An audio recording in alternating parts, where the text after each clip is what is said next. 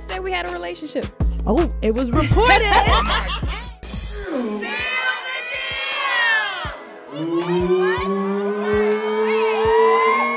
Is we're in a better place, you know, because before it was like.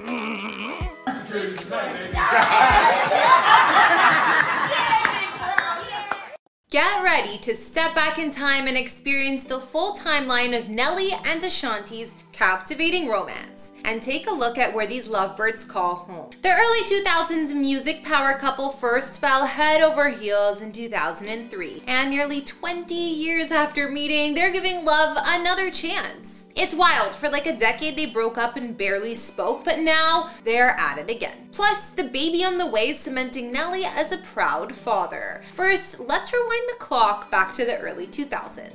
Back in 2003, fans all speculated Nelly and Ashanti were getting hot and heavy, even though the fiercely private pair always dodged confirming rumors. What we do know is Nelly asked for Ashanti's autograph at the Grammy Awards press conference that year, even though she thought he was being sarcastic. Turns out Nelly was crushing hard on Ashanti. At that time, both entertainers were totally dominating music. Foolish made Ashanti an instant R&B sensation, while Nelly's country grammar album went on to sell over 10 million copies. Safe to say their chemistry was fire from the start. Their chemistry was so explosive that Ashanti spent years dropping hints about a future wedding and babies. But Nelly, he seemed allergic to public commitment. By 2010, Nelly awkwardly referred to their relationship as just friends enjoying each other's company when he was asked about tying the knot. Nelly refused to publicly claim Ashanti as his girl, sidestepping marriage and baby convos for years till they hit the rocks. Ashanti later said she felt betrayed during their relationship and they split in 2013. Both became booed up with new people, but 2021 unexpectedly brought a hint at a reunion. After close to six years no contact, Ashanti and Nelly reunited on stage for a nostalgic performance that had Ashanti feeling some type of way. She admitted, we're in a better place. Now, in that better place, well, turn back to love. Nelly finally recently confirmed their revived relationship, explaining that it surprised both of them. Since taking things Instagram official, the sweet PDA between these lovesick musicians hasn't quit. Nelly fawned over beautiful Ashanti on her recent birthday, while she threw him an epic Impala-themed bash for his. With their touchy-feely stage antics lately, it's clear that Ashanti and Nelly fast-forwarded from casual dating back to full-fledged couple. And oh Oh my gosh, was Nelly manifesting or what? Because reports just revealed Ashanti is pregnant with their first child and Nelly's fifth child. It started when Ashanti and Nelly got flirty during the black and white event, both suggestively rubbing her belly and laughing. Social media went nuts, wondering if it was an intentional hint. Then came reports from insiders formally announcing Nelly and Ashanti are welcoming their first baby together. When a fan commented Nelly should get Ashanti pregnant immediately, he responded already on it. And Ashanti has expressed for years her dream of motherhood and a family life she put on hold for her career. After nearly 20 years of history, Ashanti is finally getting that ring and baby. Praying Nelly sticks it out this time. Now in her 40s, looks like Ashanti is finally getting the future she envisioned with Nelly. Though he has two biological biological kids and two others he raised with his late sister, he seems pumped to parent another little one with his revived ride or die. Now that Ashanti's unloaded her nearly 6,000 square foot former luxury mansion in New York, she will have no shortage of classy properties to choose from where she can put her feet up and raise her impending little one with Nelly. Let's look at pictures of her old Westbury Palace, situated privately at the end of a cul-de-sac. Ashanti sold this place for a profit profit at $1.95 million.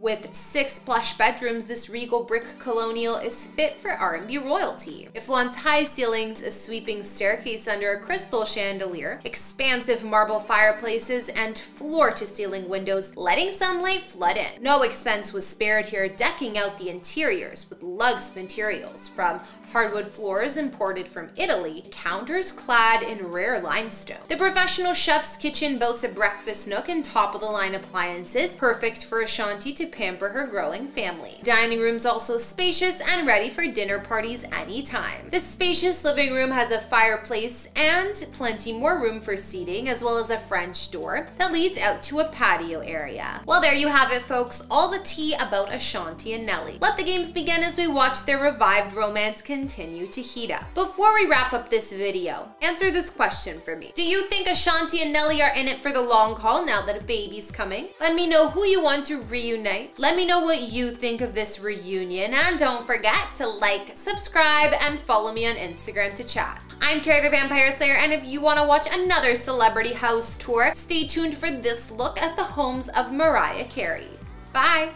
While Mariah Carey has long owned a glamorous penthouse in Manhattan and rented a mega mansion in Bedford, New York during the pandemic, word is that she's bought herself some new real estate. Located in Atlanta, Georgia, Mariah's latest acquisition is a southern colonial style mansion spanning 13,000 square feet of space that once was leased by Dwayne The Rock Johnson. With all of its luxury features, including a massive white marble kitchen, movie theater, and much more, it's fit for a queen like Mimi. In these videos, we don't reveal any addresses, and even though I've done a house tour of my own place, please do not show up at any private residences because it's not safe for anyone. Mariah Carey is a singer, songwriter, record producer, and actress who is best known for her five octave vocal range, unique singing style, and signature use of the whistle register. Not to mention, she ranks as the best selling female artist of all time with over 200 million albums sold. Her net worth is currently pegged at an estimated $320 million, a fortune which allows her to live in some exceptionally stunning pads, whether they're purchased or rented. Hey guys, it's Kara the Vampire Slayer back with another exclusive house tour here on Famous Entertainment. In this one, looking at Mariah Carey's new mansion and more. Don't forget to like, subscribe, and hit me up on Instagram to chat. And now let's get into this video.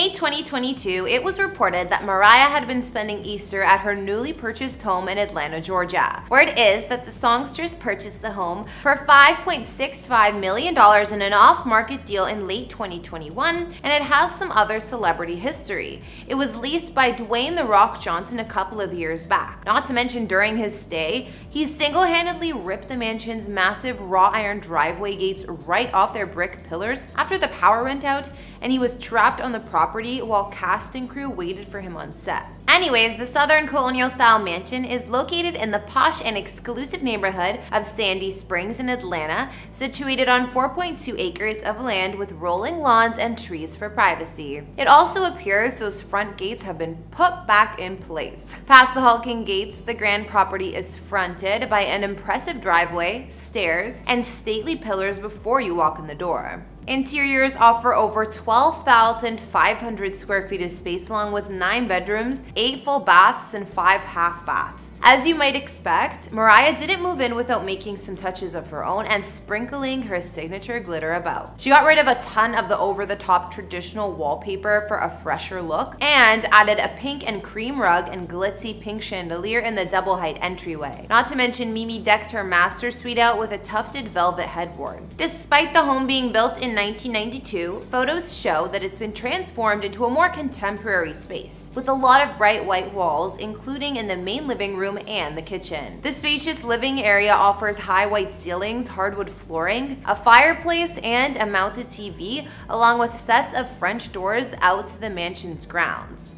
The massive kitchen is another highlight of Mariah's mansion with its white marble theme including a massive marble center island offering up bar-style seats for about 10 guests. Here, there's also top-of-the-line appliances and a couple of prep areas. Other features in her Sandy Springs mansion include a premium home movie theater and mirror-walled gym. Aside from her velvet headboard, Mimi's master suite also boasts a separate sitting area, fireplace, and French doors while the attached bathroom is spacious enough to include a vanity area, separate shower, and tub. Outside on the grounds, you'll find a swimming pool and pool house set in a private area amongst the trees, as well as a roomy guest apartment with fireplace, and elsewhere a children's playground. The grassy and rolling lawns in her property also have mature trees and greenery bordering all of it for extra seclusion. Of course, when Mariah is craving the hustle and bustle of the city, she can head over to her longtime Manhattan penthouse. She acquired this New York City property in 2000 for an unrecorded amount, and it was done up to the nines buildings by decorator Mario Buatta before it was featured in Architectural Digest. Mariah purchased her lavish penthouse triplex in the Franklin Tower, a 17-story condo redevelopment that used to be a bank back in the 30s. Mariah lives in the famed Tribeca neighborhood and apparently the main penthouse alone cost her $5.5 million.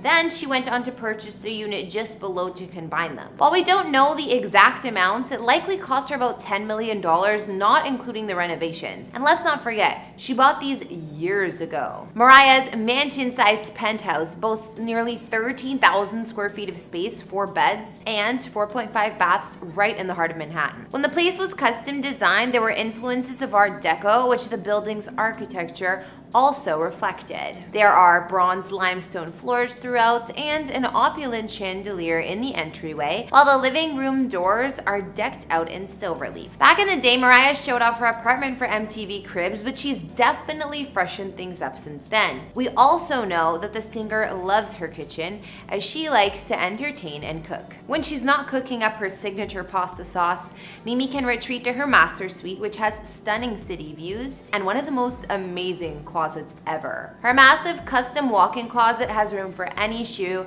special outfit, or bag that you could imagine, and Mariah loves to put it all on display. Other features of Mariah's penthouse include a whole movie theater with an aquarium on one of the walls and an under-the-sea vibe, as well as a spacious rooftop terrace that would have any New Yorker jealous. There's an entire seating area outside, as well as a hot tub overlooking city lights. Even when Mariah isn't purchasing homes, she even rents the most glamorous places. Take for instance, during the pandemic when she rented out a crib for herself, her kids, and her staff, located just about an hour outside of Manhattan in Bedford, New York. Located in an upscale gated enclave called Bedford Corners, this mansion last sold in 2021 for $4.8 million to a former Wall Street executive who spent a fortune turning the mansion into a high-tech heaven for the uber wealthy. So we know the price tag to rent it would have been substantial. The home sat on over 5 acres of landscaped grounds with interior boasting 10,500 square feet, six bedrooms, seven baths, four powder rooms, and an elevator. Built in 2006, the stone accented manor was decked out recently with all the state-of-the-art technology you could imagine, including a home automation system and a security system with over 20 cameras and a biometric keyless entry. Some of the grand living spaces here included the entryway with curving staircase, formal dining room and living room with shiny black marble fireplace and nook of windows. There was also a wood-paneled library with light-up bookcases and fireplace with carved lion heads, as well as a large sunny family room and gourmet kitchen. An extra basement level boasted a games room, media lounge with 900-gallon saltwater fish tank, light-filled home gym, and of course, a theater with a wet bar. Aside from the glamorous and epic bedrooms, especially the master suite, the impressive features continued outside. There were heated stone terraces, an outdoor shower, fire pit, sports court, gardens, and much more. No doubt though, the main attraction back here was the one-of-a-kind pool. The 90-foot-long violin-shaped swimming pool cost a reported $1 million to build, containing 50,000 gallons of water and covered in about half a million glass tiles with light-up fiber optic strands. The attached spa is part of the violin as the chin rests, and the bow was made up of two koi ponds.